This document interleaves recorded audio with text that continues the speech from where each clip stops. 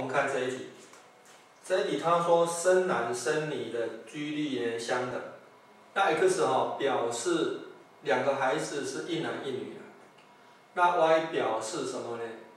一个呢，第一个是男生，第二个是女生，它的几率的。那他们说下列哪一项是错误的？好，我们看看呢，x 等于多少？x 呢这个几率哈，一男一女哈，有可能什么呢？有可能第一胎生男，第二胎生女啊，还有可能什么呢？也有可能第一胎生呢女，第二胎生男。那这个几率多少呢？第一胎生男的几率是二分之一嘛？第二胎生女的几率也是二分之一。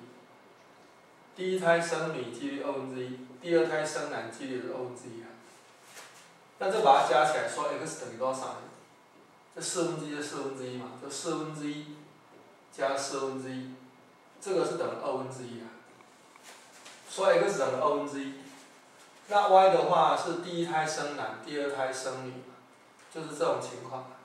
所以 y 哈是等于多少？是等于四分之一啊。也就是说哈，x 是 y 的两倍。我们看他们说哪一个是错误的？A 选项哈，他说 x 大于这个对的，因为 x 是二分之一嘛，大于这个是对的。